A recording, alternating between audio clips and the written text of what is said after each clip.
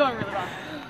We're here with Bailey and Juliana. Bailey, a um, little bit of a rough start, but we finished really well tonight. Was this a, a step for the maturation process of this team as we continue to learn from our mistakes and grow? Yeah, 100%. I think uh, we showed a lot of growth tonight against Loma, and you know that that's huge for a young team, honestly. And I, we stepped up, and I'm just I'm so excited for this win. I wanted to beat them really bad, so it was good. And Juliana, we had a great fourth set. We passed the ball really well. How did you feel like things were clicking from your middle position?